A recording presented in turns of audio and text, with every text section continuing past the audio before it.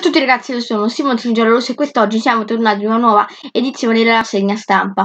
Cominciamo subito. Iturbe andrà sicuramente in prestito al San Lorenzo, come affermato anche dai dirigenti del club argentino. Gonalon invece ha firmato un contratto quadriennale con la Roma.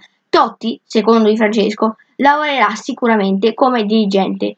Di Francesco ha anche affermato che l'allenatore è lui, quindi le scelte le prenderà quasi tutte lui potrebbe riaprirsi la trattativa tra Manolas e lo Zenit di San Pietroburgo. Borca Valero si sfoga con la Fiorentina e ha affermato anche che è stato costretto ad andarsene. Ora i dirigenti eh, viola passeranno alle vie legali. Lukaku andrà al Chelsea per 100 milioni. Conte ha detto che con quei soldi avrebbe voluto prendersi Belotti. Neymar in caso lasciasse Barcellona andrebbe sicuramente al Manchester United, che è disposto a pagare la clausola di 200 milioni.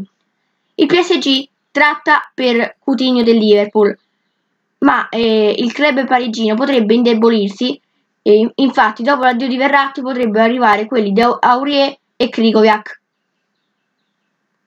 Il Manchester United chiede Morata al Real Madrid e nella trattativa potrebbe inserirsi anche De Gea, che vorrebbe andare eh, in Spagna con i Blancos. Banega è ufficialmente un nuovo giocatore del Siviglia. L'Arsenal prepara un colpaccio, 70 milioni allo Sporting Lisbona per Carvaglio e Martins.